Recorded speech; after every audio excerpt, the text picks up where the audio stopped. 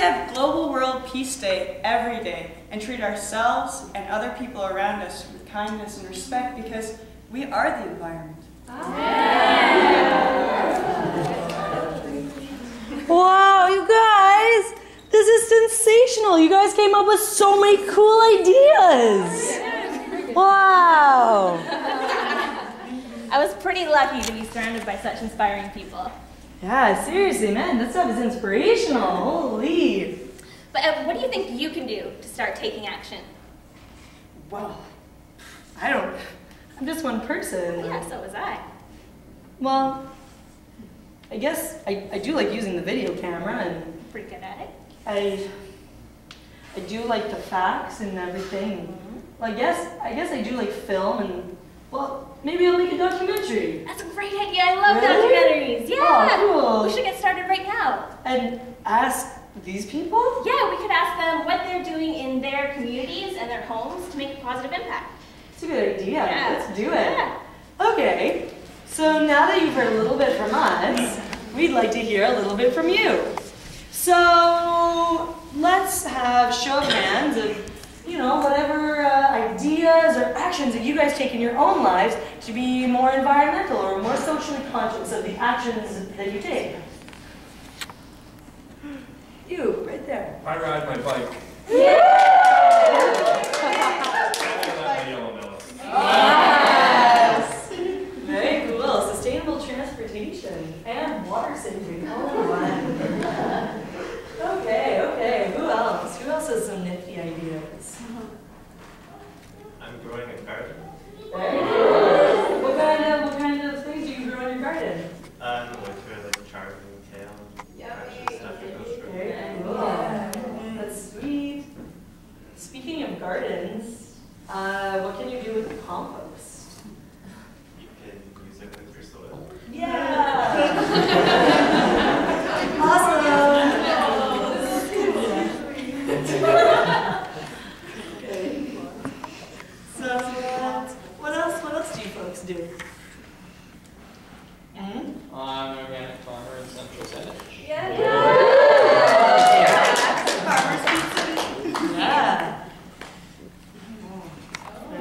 I have a garden, an organic garden on Old West.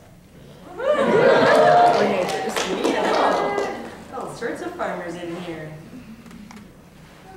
I buy secondhand clothing. Okay,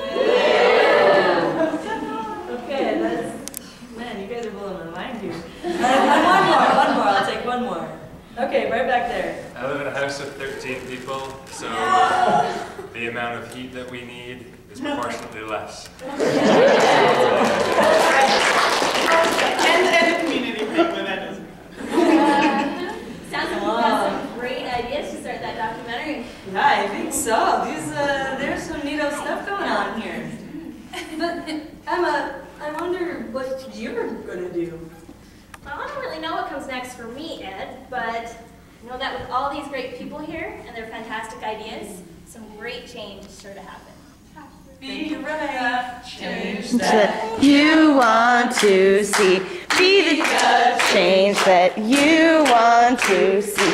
Be the change that you want to see. The change that starts with you. Be the change that you want to see. Oh yeah. Be the change that you want to see. The change that starts with you. Be the change that you want to see. Woo!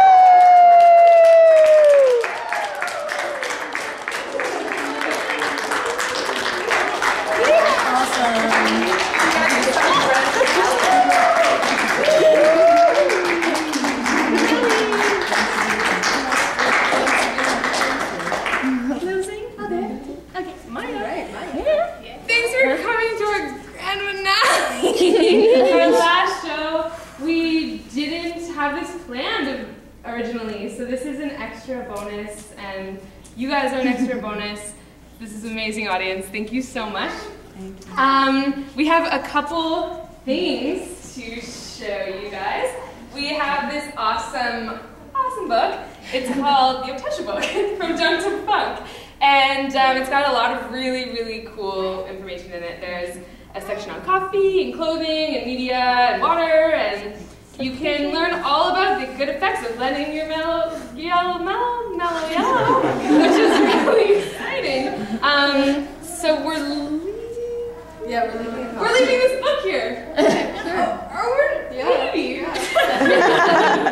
um, and we don't know where we'll leave it because it's the an open library. school, but possibly in the library, and you can check it out. but if you don't get a chance to go to the library and it's not there for some odd reason, you can order one. So we have order form, and you can order one after we talk a little bit more. I've never done this before, so are great. um, then we have these postcards. Uh, they're pretty cool as well. We've got um, the Otesha office information on the back, and you can fill it out with an environmental action that you want to take, uh, something you're already taking, an idea, or maybe an inspiration that you've got from your daily life, or maybe this show. Um, and then you can just send it in to the Otesha office, and it really keeps them going. It lets them know that we're making a difference, and you're making a difference, and that this community is growing. So it's really, it's really exciting for them. We also have a blog, ended because we're done. Um, you can read what we did already. Um, so you can sign up for that blog. It's called Notes from the Road, and um, we'll have a sign-up sheet for that as well. And it's really cool. A lot of us wrote some little things. We're like, oh, we were riding bikes, and this is what we think. And so that's what is on the internet. Um, other than that, I think we'll take some questions now. If anybody has any questions or thoughts or feelings or a dance, I don't know. Any questions? Anything? Anything goes. Yep. I think there's a question right there.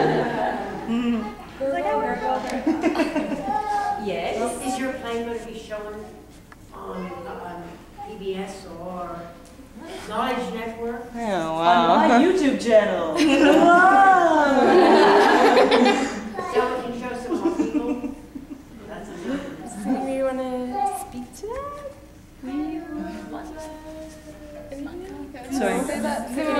that? Kara? Um, I think you've, we've We've discussed- See this, I think it's brilliant, I'm so enjoyed it. There might be some small, like I'll probably put some small clips on my YouTube channel, which I can give you the address for. However, I don't know if we'll put the whole thing online because there is something special about going to an Otesha presentation and seeing it in person. Um, but there will be snippets that Forward to this. you can promote all over the world. Victoria. Yeah? that would be fun. Under Monster Mon. Any other questions? How do you guys put the, the whole thing together? Oh. Uh, we, at the beginning of every uh, cycling tour, you get together for what's called a training week. And that's when we all get to know each other and we are given the script for the play and we have like basically a week to learn it. Um, so, 13 yeah. hours. 13 hours. we have. and then it kind of just evolves over the course of the cycling tour. What's next for you?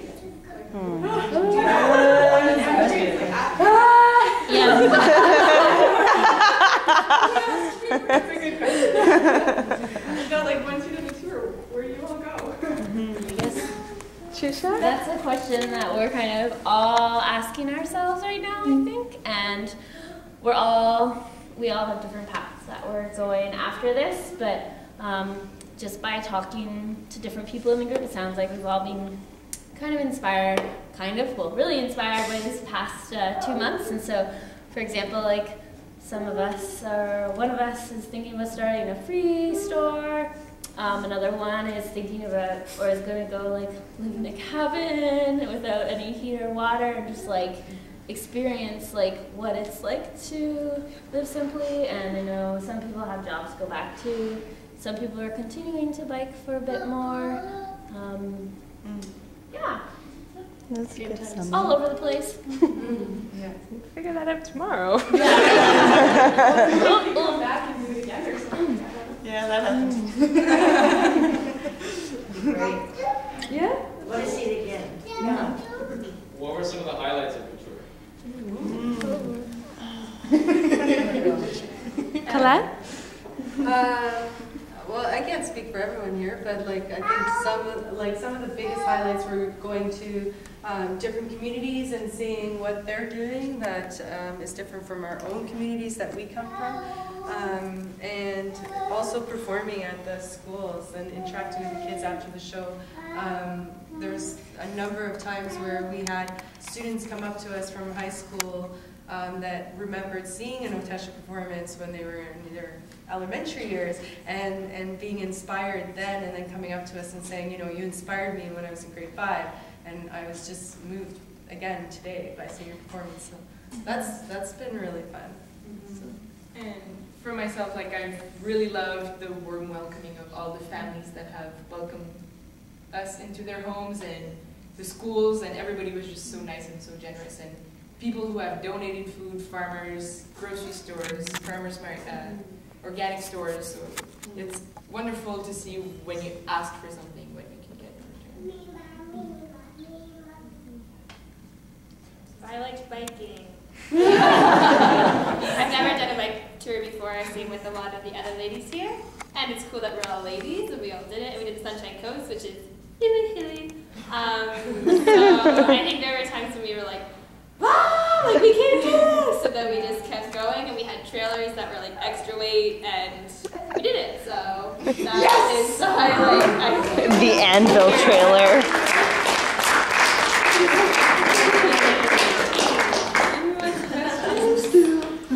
Questions or comments or thoughts? Yeah? Um, did any of you um, like make some big change in your life, or, or think that you're gonna do something really differently than you did before?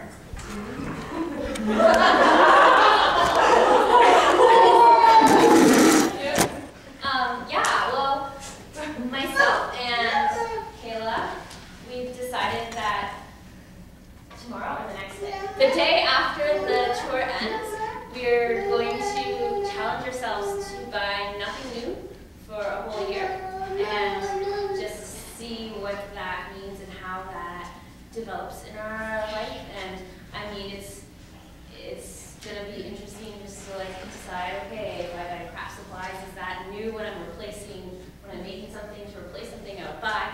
So those kind of logistics, but just based on like this experience, we just feel like it would be a fun way to break down the production cycle. Anyone else? Um, I think something that I, I was really, really affected by, and I think a lot of people were affected by, was food. We, I so much about food uh, that I, I thought I knew stuff about food, and I don't know anything. And we have this food mandate that's like, like all hell just breaks loose when we, we all put our ideas and our thoughts and our like choices into this pot of like, oh, we can't eat anything. so I learned a lot about what you can eat when you can't eat anything. and I think we ate really well. And I felt like really nourished by things that I don't know, I usually don't always have in my diet.